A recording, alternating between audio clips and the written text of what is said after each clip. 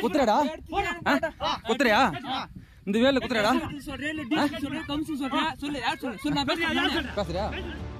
இப்படி கையில் ஆயுதத்துடன் யார்கிட்ட வேணாலும் போய் சொல்லிக்கோ நான் பேசிக்கிறேன் என மிரட்டும் துணியில் பேசும் இவர்கள்தான் திமுக எம்எல்ஏவின் உறவினர்கள்.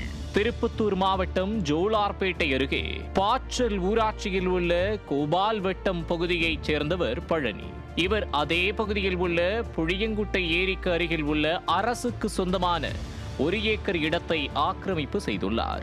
பாச்சல் ஊராட்சி சார்பில் சாலை ஓரங்களில் மரம் வளர்ப்போம் மழை பெறுவோம் திட்டத்தின் கீழ்.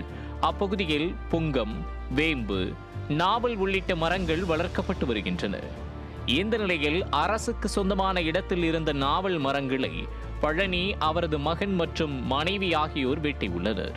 இதனை அறிந்த பாச்சல் ஊராட்சி அதிமுக கவுன்சிலர் மணிகண்டன் மற்றும் ஊராட்சி மன்ற துணைத் தலைவர் சஞ்சீவி உள்ளிட்டோர் பழனியை தட்டி கேட்டுள்ளனர். அப்போது பழனி மற்றும் அவரது மகன் ஆகியோர் கையில் கத்தி வேல் உள்ளிட்ட ஆயுதங்களை வைத்துக்கொண்டு ஆபாசமாக திட்டி கொலை செய்ய முயன்றுள்ளனர் தம்பி இந்தா இந்த மாதிரி வே- வேல் எடுத்து வைக்கிறது இங்க பாரு வேல் வச்சுக்கிறது குத்துறது குத்துறடா குத்துறடா ஆ? குத்துறியா இந்த வேலை குத்துறடா? பேசுறியா. சரி? நான் அழகமா சொன்னேன். இது குறித்து ஜோலார்பேட்டை காவல் நிலையத்தில் புகார் அளிக்க சென்ற நிலையில் பழனியின் குடும்பத்தினர் நாவல் மரங்களை வெட்டிய அடையாளமே தெரியாத வகையில் மண்ணை கொட்டி மூடி உள்ளனர். ஜோலார்பேட்டை எம்எல்ஏவாக தேவராஜ் பொறுப்பேற்றது முதல் அவரது உறவினர்கள் அடாவடியில் ஈடுபட்டு வருவதாக பொதுமக்கள் குற்றம் சாட்டியுள்ளனர். ஆக்கிரமிப்பு குறித்து ஏற்கனவே பழனி மீது ஜோலார்பேட்டை காவல் நிலையத்தில் பொதுமக்கள் பலமுறை புகார் அளித்தும். திமுக எம்எல்ஏ தேவராஜின் உறவினர் என்பதால் அவர் மீது போலீசார் நடவடிக்கை எடுக்க தயங்குவதாக கூறப்படுகிறது.